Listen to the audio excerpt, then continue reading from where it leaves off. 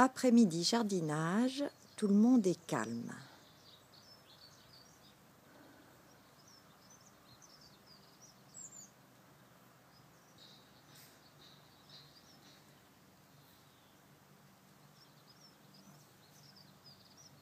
Hein, Madune?